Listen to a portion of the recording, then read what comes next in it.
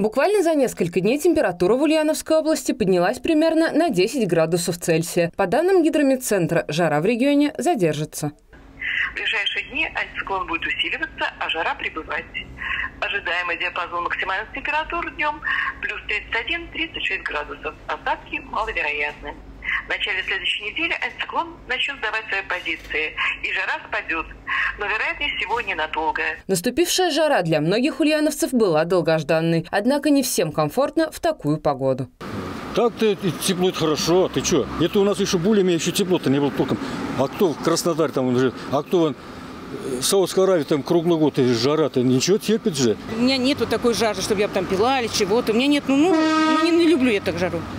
Ну, дом жарко, пятый этаж, конечно. Ну как, водичку пьем, чаек. Особую опасность жаркая погода представляет для пожилых людей, тех, кто страдает сахарным диабетом и сердечно-сосудистыми заболеваниями, для беременных женщин и маленьких детей. Медики отмечают, что в такие температуры необходимо прислушиваться к своему организму.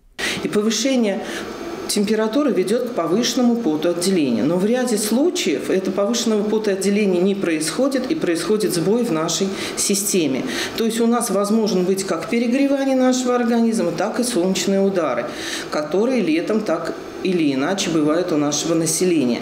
Симптомы солнечного удара, как правило, проявляются сразу. Это головная боль, головокружение, мелькание мушек, тошнота. Похожие последствия перегревания могут проявиться и через несколько часов. Если после пребывания на улице вы заметили их у себя, незамедлительно примите меры. Попить обыкновенной воды, положить холодную бутылочку с водой на сосуды шеи, в подмышечные впадины, на голову положить мокрое смоченное полотенце. Ни в коем случае нельзя пользоваться льдом потому что это тоже реакция организма пойдет немножечко непредсказуемая.